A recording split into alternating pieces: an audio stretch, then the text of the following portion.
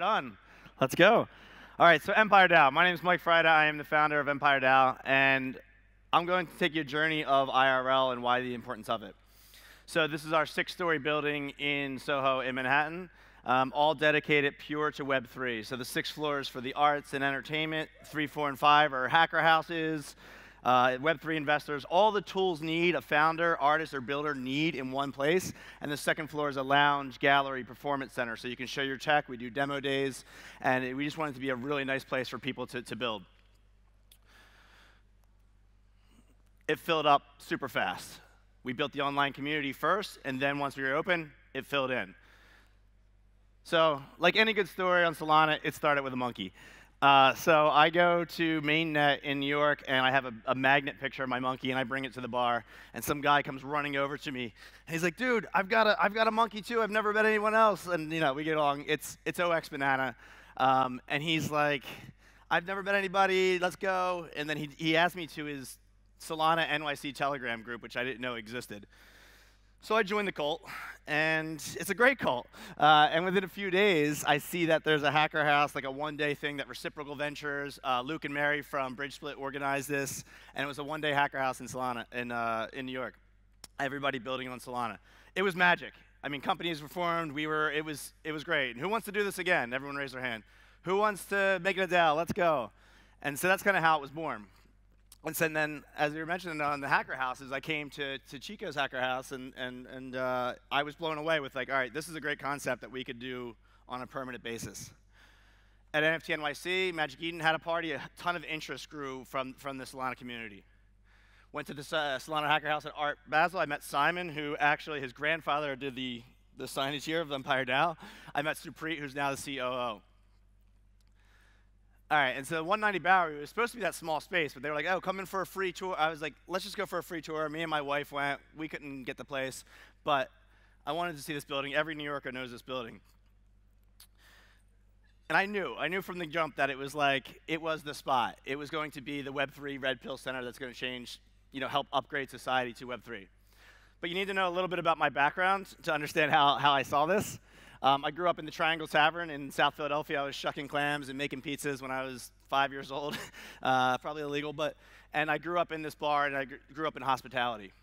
And I was at Filterbox. We were in the first Techstars class in Boulder, Colorado, so I was able to see how communities, builder communities came together. The Pearl Street Mall was essentially what our second floor is, the place where everyone bumps into each other and has collisions. So you have access to universities, founders, uh, investors, everything that you need as a builder we got acquired by Jive Software. So I spent the next 10 years essentially being like, work remote, everybody. Web 2 is the greatest. So I was at Jive, I was at 21st Century Fox, putting the, the hashtag on TVs. Um, social edge consulting, we were purely trying to upgrade people from Web 2, Web 1 to Web 2. Helped start the Center for Social Innovation in New York City.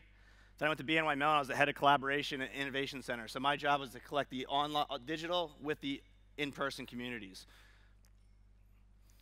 In the meantime, I was an adjunct at NYU, and I taught English as a second language in Prague. So there's a lot of education in this. I hosted the show called FinTech Friday at BNY Mellon. Uh, this was like 2016, so I was a Bitcoin maxi. I, I, don't think we had a choice back then other than to be a Bitcoin maxi. Uh, and I would just kind of try to red pill BNY Mellon, America's oldest bank, and what was coming. And we actually started the Bitcoin custody program, which just got released about a month ago.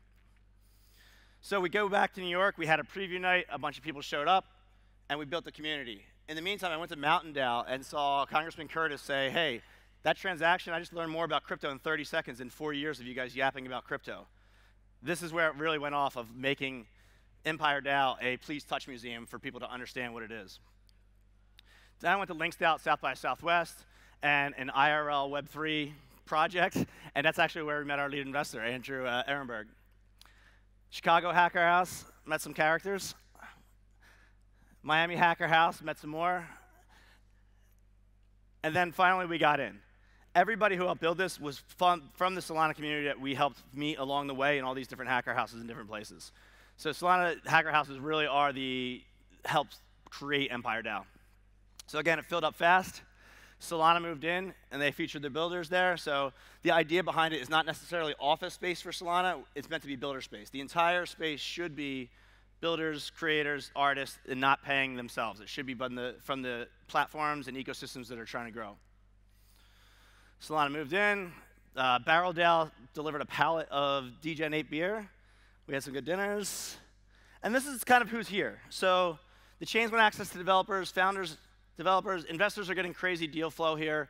Uh, the artists and media producers come in on a daily basis trying to understand what's happening in this Web3 world, how they can get royalties for their art.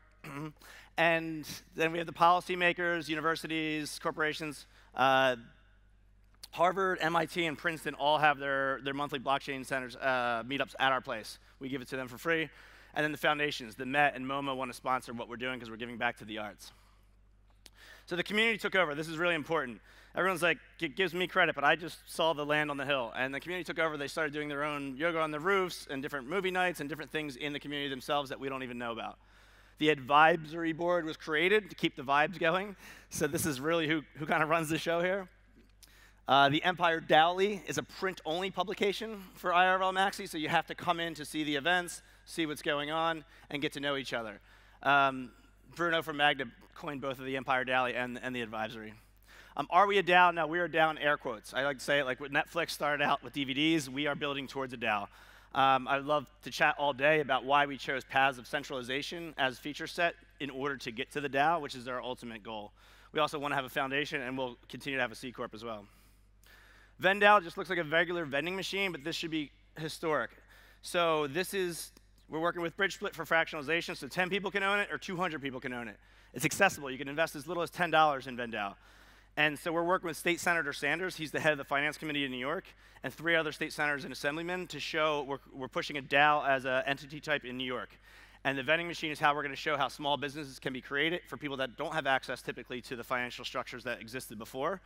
And can also be completely transparent. So you see all the things that we vote on, everything where the money moves, and you don't have to know or trust the people that you go in business with. This could be a boom for small businesses in New York and beyond, and if we can prove it in New York, we can take away the BitLicense, and they know that's holding us back. So this could be the way, the path forward, and we're building all this with, with Squads, Realms, Maki, uh, Mountain, well, uh, Solana Pay, um, all in the Solana ecosystem. It checks every box for the, for the senators in terms of their they want financial accessibility, financial transparency, and sustainability. Building on Solana helps all three of those. Then we go to Coffee Shop DAO, and we do the same thing. It's a little more intricate with different supplies, but that's our next step as we become a DAO. Elizabeth Street Gardens, right around the corner. They've got 300 members. They have weddings. They have uh, they have their own funds. They're zero government or corporate backing right now, so they essentially are a DAO in a sense. So they want us to help put their garden on chain so that they can do the same thing that we're doing with the vending machine and coffee shop. Finally, we buy, tokenize, and fractionalize this building itself to become a true DAO and have ownership of it. So people say, all right, what's the model here? How do you guys, how does this work? So the building revenue comes over on the left from sponsorship, events, gallery sales, studios, and this is kind of Empire DAO here. The 190 Labs is the opportunity we have for joint ventures, accelerator, agencies, and all these other types of revenue here. Um, Baxis, for example, they came in and they've been kind of accelerated. They've been able to find their head of marketing. They did a deal with Helium. Uh, they got investment all just by being an Empire DAO. So we see there's an opportunity here to help founders and companies accelerate through. Um, if you want to jump in our Telegram, the cool thing about this is you can see the entire history of this starting. So we started back in uh, November, about a year ago, and every single image in there and every single conversation that we've had of building this has been public. So you can see how we built this uh, and, and, see the history. So a lot of the like, journalists and whatnot will come in here. So feel free to join us there. And then uh, we are always looking for sponsorship and getting more of the Solana ecosystems and every other ecosystem in here to help build the future so that we can kind of red pill society, show them what's going on and how we're building from there feel free to connect with me directly, and I can link you up. So that's Empire DAO. Thank you.